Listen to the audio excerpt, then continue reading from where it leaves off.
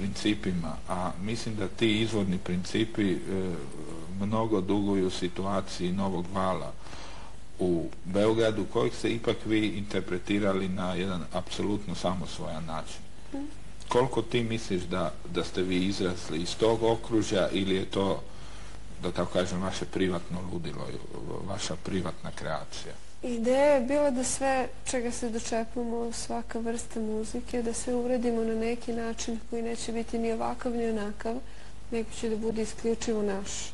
To je ono početna ideja.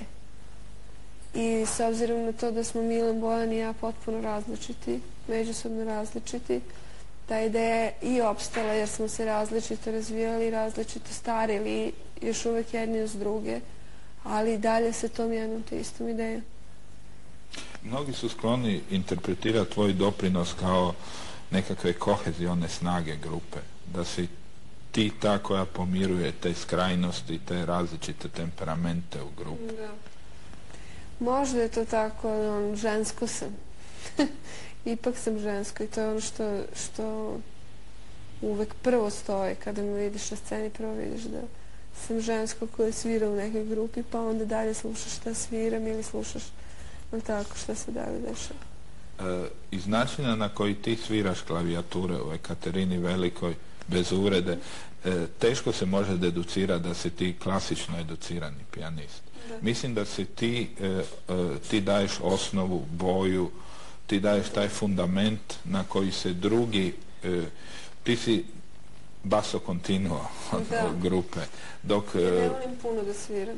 Ne volim puno da sviram i u muzičkoj školi je postojala podela između mene i Vlajka Lalića koji je bio jako dobar jazz pijanista da će on da svira te deonice u kojima se puno svira, a ja ću da budem iza uvijek. Tako da je to neka moja uloga u bendu. Pa mislim da upravo... Podloga. Mhm. ne bi rekao podloga, nego osnova. Dobro, što ti kažeš.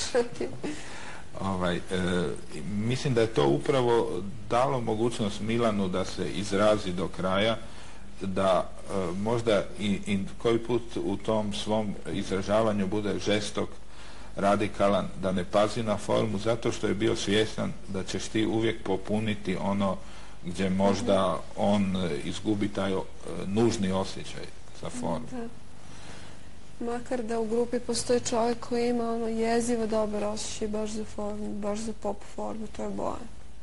I onako kad god nešto škripi, on će sigurno to da sklopi vrlo dobro. To je ono, to su prirodne podele koje su se onako od početka podrazumevale. Od početka je svako vukao na svoju stranu i svima je bilo jasno da će to da traje dok god budemo takvi kakvi smo. Međusobno vjerojatno vaša ključna ploča s obzirom na dugovječnost i na proširenje auditorija je bila s vetrom u lice. E, to je ploča koju naišla na raznovrsne kritičke e, reakcije ne zato što sada razgovaramo, ali e, ja sam ju ocijenio kao ploču koja na sjajan način vas pretvara iz jedne marginalne radikalne grupe u suvremenu rock grupu. Mnogi su bili skloni da e, precjenjuju recimo utjecaj Simple Mindsa i ovoga, te neke atmosfere, ali ja mislim da ste vi e, našli sjajan način da proširite auditorij, a da ne iznevjerite ono s čime ste počeli. To je jednostavno bila primjena savremene tehnologije koja u tom vremenu bi bila bliska nekom evropskom zvuku, ili tako, na našu muziku. Eto, to je to. Imali smo sreće da smo mogli da dobijemo takvu produkciju i zato je u krajnjoj liniji sve tako ispalo. Ali se već na sljedećoj ploči, studijskoj ploči, se vratilo na prave mere. Kad već spominješ studijske ploče, mislim da je vaša treća ploča, e, ako, ako dobro e, ih brojim, snimljena u studiju Smolec, Mo e, ploča, onda druga ploča, pardon. Mhm. E, možda prva ploča gdje ste vi tehnološki sazreli. Mislim da u tom studiju ste prvi put mogli i na ploči pokazati barem dio onoga što ste recimo u Kulušiću i na drugim koncertnim pozornicama već uspjeli realizirati. Situacija je bila takva da su se pesme menjale u studiju, pošto je studio iziskivao takve promjene. I opet se sve srećno završilo. U svakom našem periodu, a periode možemo da delimo ili prema pločama ili prema bubnjarima koji su dolazili i odlazili u grupu, uh, smo uvek imali u nekom trenutku dovoljno sreće da trenutni uh, ono što nas tog trenutka interesuje uspemo nekako da izrazimo i nekako da završimo. Ali se uvek nalazilo nešto novo što je davalo šanse dalje da se stvar dalje odvije. Pa mislim da se ja tu osobno dosta razlikujem od e, uobičajenih predođbi i uobičajenih ocjena o Katarini u drugoj polovici 80. godina, kad ste vi postali uspješna grupa, kad su za, za zadnje dve, tri ploče koje ste napravili, to je sve ploče koje se napravili nakon Svetrom u lice, svi su rekli je, ovo je dobro, ali oni se ponavljaju. Recimo po meni e, bitan pomak u, u posljednjim pločama je bio taj da ste vi napisali par po meni najjačih e, socijalnih komentara kod nas. Tu mislim na pjesme poput Zemlja ili naslovnu pjesmu posljednjeg albuma. E, mislim da, mislim da te pjesme se mogu doživjeti, očitati kao metafora općeg stanja Jugoslavije u zadnjih 4-5 godina. ali interesantno je recimo da zemlju niko nije tako shvatao.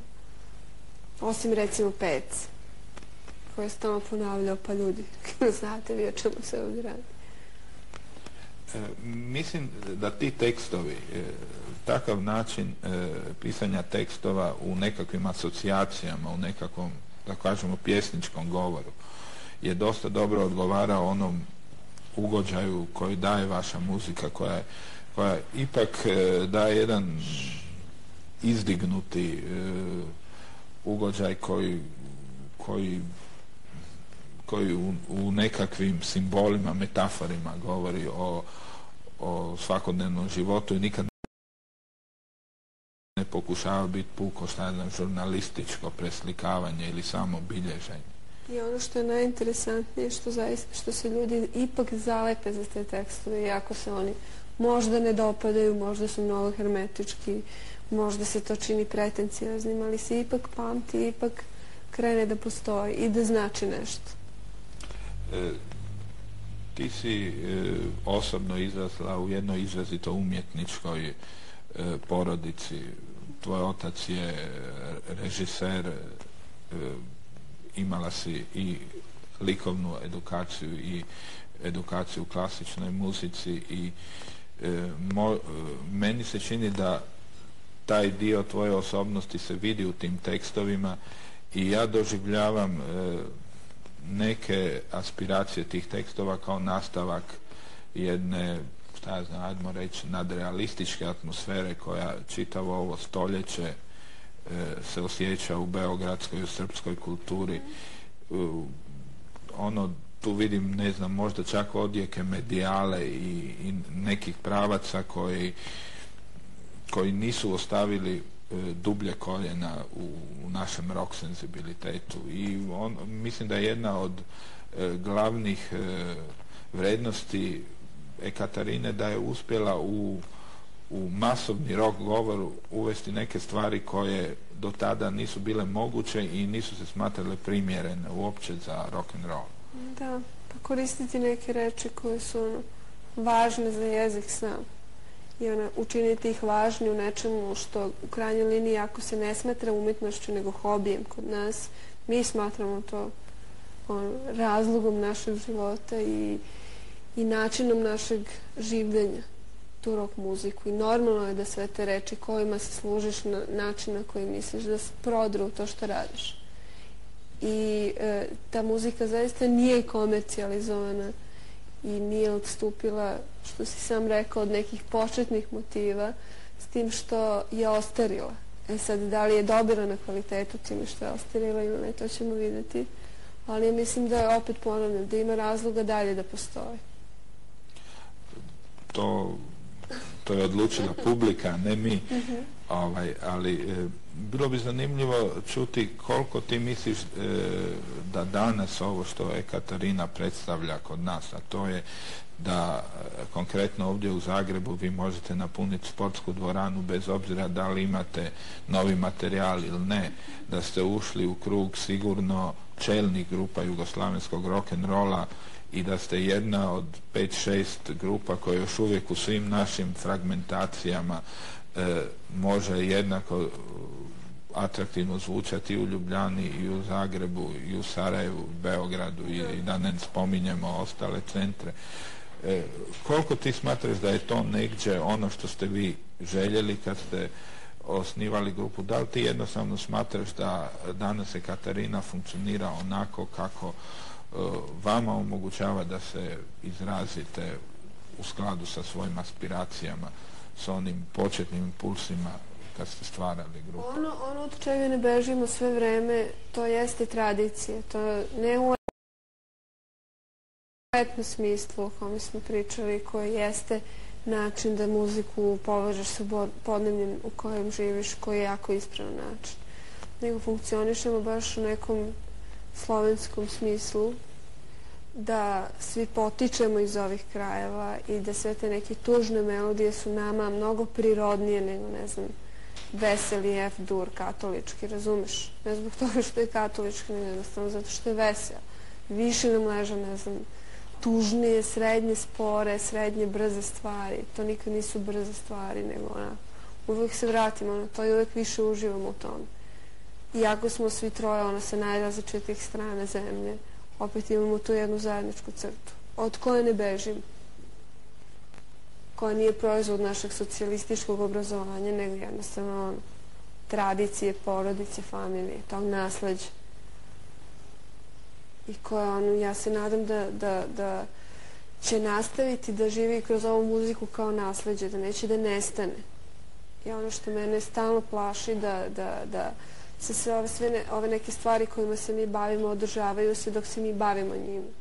A šta će da bude dalje, ja stalno ne vidim. Ne vidim taj neki dalje nastavak cele situacije. Osim da se ide napolje, ali opet to je onda E, ova kriza duhovna, moralna, ekonomska je vas potakla da još idete više na te elementarne vrednosti. Da, da se vraćamo tim elementarnim vrednostima. Znači da potenciraš tradiciju, da potenciraš ono što se sigurno znaš da je dobro.